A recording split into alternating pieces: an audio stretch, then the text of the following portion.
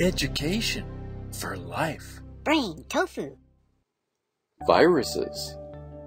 Viruses attack our cells. They cause disease with sometimes fatal results. Viruses have one purpose to multiply and destroy.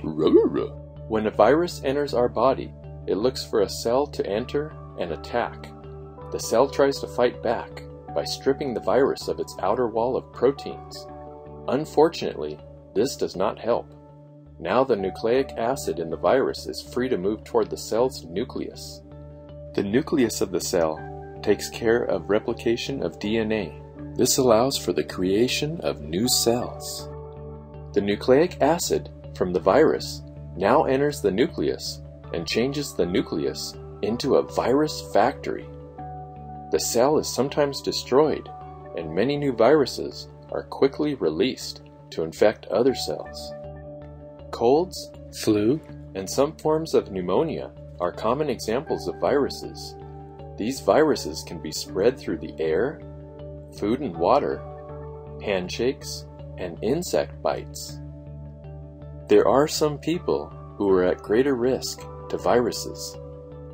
Young children and adults over 60, people who have asthma, diabetes, or heart disease, people recovering from surgery, smokers and heavy drinkers of alcohol, organ transplant patients, cancer patients, kidney disease patients, and people who are HIV positive.